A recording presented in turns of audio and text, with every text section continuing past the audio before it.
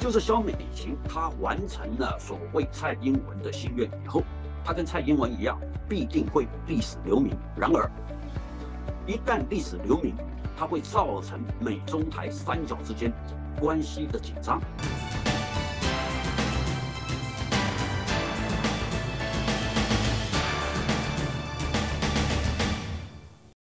各位观众，大家好，我是有话直说的主讲人张友华。战猫情肖美琴回到了台湾，他首站是拜访了陈建仁。当他在拜访陈建仁的整个过过程当中，他讲到了台美关系，然后他是否是副手？那当然，现在很多人是把焦点聚焦在所谓的美台关系，或者是赖清德的副手上面，但是。今天我碰到一位朋友，就是说我的朋友告诉我，他说其实按照那我过去在视频上面讲的，他说现在在台湾已经引起了注意。我说到底是什么事？怎么会引起注意？他就讲，他说你跟郭一鸣讲的，就是蔡英文的心愿。他说事实上这个议题在台湾很少人提到。他说没有想到，那我事先提到，他很好奇的问我。他说：“你的消息是从什么地方来的？”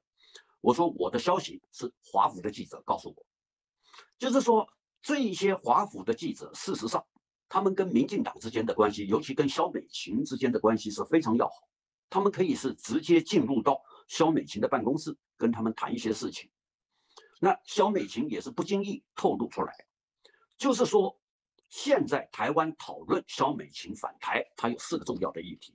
第一个重要的议题。”是高空气球的问题，那这些问题已经谈过。那第二个，麦卡锡是否来台湾的问题也已经谈过。那第三个问题是副手的问题，也已经谈过了。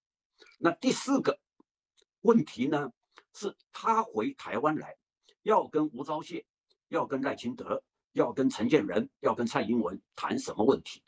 他说，事实上，就我理解。还有两件重要的事情，是肖美琴必须要极力促成。第一个，就是在今年的八月，台湾中南美洲的一个国家叫做巴拉圭，新任总统要就职典礼，蔡英文可不可能在那个时候出访，或者是过去美国？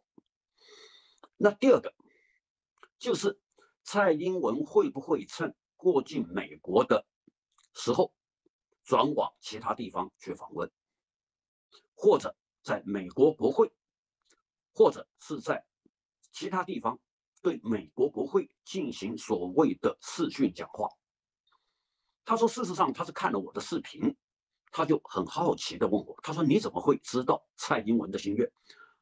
我说：“蔡英文他要追求他的历史定位，第一个。”他在内政方面一塌糊涂，就是两次的败选，尤其是二零二二连三败，所以他就必须要转往外面发展。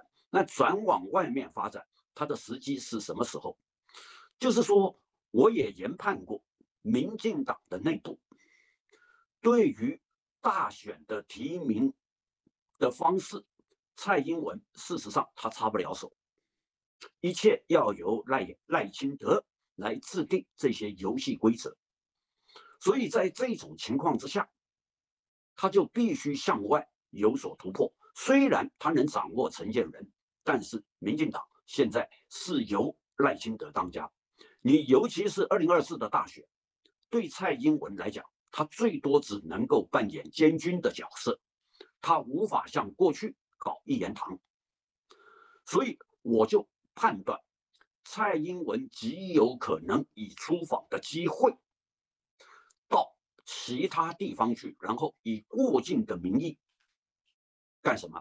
就是完成他对外的心愿，就是三个心愿。在这种情况之下，我们可以说肖美琴的访台，第一个各位看四月的时候，麦卡锡四月十号究竟要不要来台湾？如果不来台湾，大概就在八月。那在在麦卡锡是否来台的问题上，蔡英文既然他采取主动的方式的话，他会尊重麦卡锡来台的时间。那这个来台的时间，我在网络平台跟视频我写过，我也说过，我就不再重复。但是比较重要的是说，如何到达美国，因为毕竟美国跟台湾之间没有邦交。依照过去的惯例，就是美国会允许他过境，因为从李登辉、陈水扁、马英九到蔡英文都是一样，只不过是过境礼遇的方式的问题而已。那再再加上美中之间关系紧张，拜登政府频频打所谓的台湾牌，那就是因为拜登政府打台湾牌。各位看，二零一八。蔡英文过境美国所受到的礼遇，那现在是二零二三，时间过去了五年，我们可以这么说，他会不会趁去中南美洲的时候，对美国或者中国大陆进行一场所谓的突击战？一旦是这样的话，必然会引起中国大陆的反弹。所以我就讲，肖美琴这一次回来。是否会完成蔡英文的心愿，就要看肖美琴怎么跟蔡英文谈。况且这种事情，他不会透过手机电话、外交邮袋，一定会直接面谈。那直接面谈有三个好处：第一个，保密性高；第二个，他对会见还有过境的方式，两个可以详细的讨论。事实上，为什么讲过境跟礼遇？这这个里面就涉及了美国对于中国大陆的一个态度或者一种姿态，会不会打台湾牌？要把台湾牌打到一个什么样的程度？美国自然会告诉小美琴。当然，这件事情知道的越少越好。那第三个就是，一旦履历程度提高的话，就可以运用突袭的方式达到他的政治目的。所以，我是根据这三者之间的研判，但是。话也要说回来，就是肖美琴她完成了所谓蔡英文的心愿以后，她跟蔡英文一样，必定会历史留名。然而，一旦历史留名，它会造成美中台三角之间关系的紧张。这个紧张，我们就说，二零二三的八月应该是美中台三方的烽火月，因为不要忘了，麦卡锡是否来台。我们看裴洛西老太太的例子，在去年也是一样，最后以染疫为名，然后突然跑到乌克兰，在八月的时候再来台湾。所以从现在开始起算，民进党的提名制度大概是在今年是五月间进行，到八月大势已定。那蔡英文那个时候可以放心到其他地区去看看，然后顺道过境美国。